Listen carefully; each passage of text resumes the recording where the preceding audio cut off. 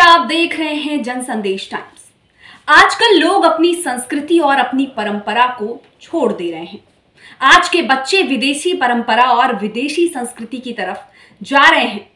आजकल की generation live in relationship को अपना रही है। प्रेमी जोड़ों का शादी के बिना लंबे समय तक एक घर में साथ रहना लिव इन रिलेशनशिप कहलाता है। हमने आपको लिव इन रिलेशनशिप की परिभाषा भी बता दी। ये विदेशी परंपरा है। लेकिन आजकल इसका चलन भारत में बहुत ज़्यादा है। शादी एक प्रकार का लीगल कमिटमेंट होता है। इसमें आपके माता पिता और आपके पार्टनर के साथ पार्टनर के माता पिता के अलावा दोनों के घरों के लोग शामिल होते हैं। और यदि पार्टनर को एक दूसरे से अलग होना होता है तो उन्हें तलाक लेना पड़ता है। वहीं लिव इन रिलेशनशिप में ऐसा कुछ नहीं होता है। लिव इन में कपल एक दूसरे के साथ बिना शादी किए रहते हैं और दोनों एक दूसरे को अधिक बेहतर तरीके से समझने की कोशिश करते हैं। यह हम आपको बता दें कि भारत में अब लिव इन लीगल हो गया है। सुप्रीम कोर्ट सुप्रीम कोर्ट ये पहले ही कह चुका है कि लिव इन रिलेशनशिप ना अपराध है, ना पाप। युवा वर्ग में इसका चलन बढ़ा है। इन रिश्तों की लोकप्रियता और स्वीकार्यता बड़े शहरों में बढ़ी है। ये सही है। देश में लिव इन रिलेशन में रहना कोई आज ही नहीं शुरू हुआ है। इससे पहले भी होता था। ऐसे संबंध में युवा वर्ग के साथ अधिक उम्र के दो लोगों के बीच भी होता है, जिसमें पति पत्नी के बीच तलाक नहीं हुआ है। ये संबंध ऐसे लोग भी बनाते हैं। कई बार ये दो चार साल रहते हैं और कई बार दस साल तक बीस, दस दस, बीस साल तक रहते हैं। ऐसे जोड़ों के साथ रहना समाज के लिए एक चुनौती है। हम आपको लिवन की परिभाषा इसलिए बता रहे हैं क्योंकि आगे हम आपको इसके परिणाम भी बताने वाले हैं, यानी कि दुष्परिणाम। लिव इन रिलेशनशिप के महिलाओं पर हो रहे अपराध भी दिन ब दिन बढ़ते जा रहे हैं। श्रद्धा मर्डर केस के बाद निक्की मर्डर केस सामने आया। देश की राजधानी दिल्ली में लिव इन रिलेशनशिप में रहने वाली लड़कियों को उनके प्रेमी ने ही मौत के घाट उतार दिया।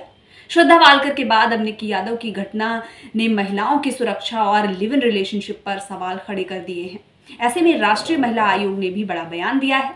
एनसीडब्ल्यू के अध्यक्ष रेखा शर्मा ने कहा कि लिव इन रिलेशनशिप में लड़कियाँ सुरक्षित नहीं है। इसके अलावा उन्होंने ऐसी घटनाओं के लिए सिर्फ़ लड़कियाँ ही नहीं, बल्कि उनके परिवार वालों को जिम्मेदार बताया है। इसके साथ ही हम बात करेंगे सरस्वती वैद की, जो अभी हाल ही में बीते दिनों अपने लिव इन पार्टनर के द्वारा हत्या उनकी कर दी गई।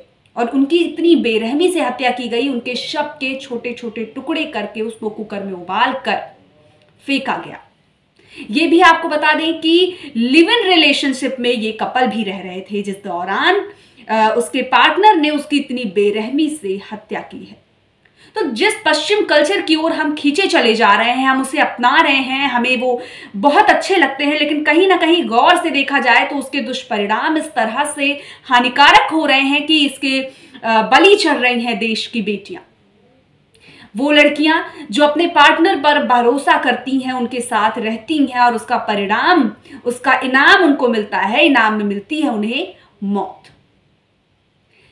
आपको बता दें कि लिव इन रिलेशनशिप पर अब जिस तरह से घटनाएँ बढ़ रही हैं, इस पर सवाल भी खड़े होने लगे हैं। जैसा कि हमने आपको पहले भी बताया कि महिला आयोग ने भी ये बात का दावा किया है कि लिव इन में महिलाएँ सुरक्षित नहीं है, क्योंकि जिस तरह से अपराध बढ़ रहे हैं कि बड़ी बड़ी जो घटनाएँ सामने आई हैं, साक्षी को चाकू से गोद कर हत्या की गई और श्रद्धा के बत्तीस टुकड़े करके फ्रिज में रखे गए, उसके बाद सरस्वती के टुकड़े करके उसे कुकर में उबाला गया। ये सारे इनके लिव इन पार्टनर्स ने ही इन घटनाओं को अंजाम दिया। क्या आपके हिसाब से ये सही है या गलत? इस पर विचार करिए और जो भी आपकी बातें हैं, जो भी बातें आपके मन में आती हमें कमेंट के ज़रिए बताइए। ऐसे ही हम और अपडेट्स आपके लिए लेकर आते रहेंगे। तब तक के लिए हमारे साथ बने रहिए और देखते रहिए जन संदेश टाइम्स